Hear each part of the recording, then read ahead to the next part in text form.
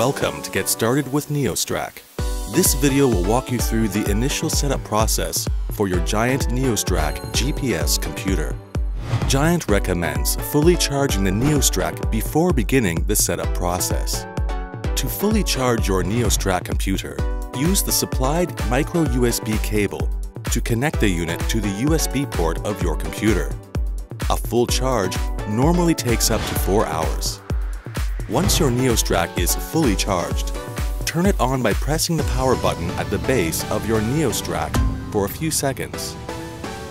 The NeosTrack will take you through a simple setup process to fill the required information. This is accomplished by using the four buttons located on the sides of the computer.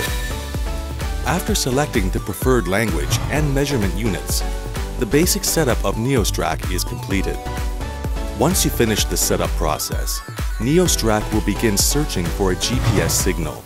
Once connected, you see a fixed GPS signal, which means you can begin riding and track your rides. Simply press start button to record your workout and enjoy your riding.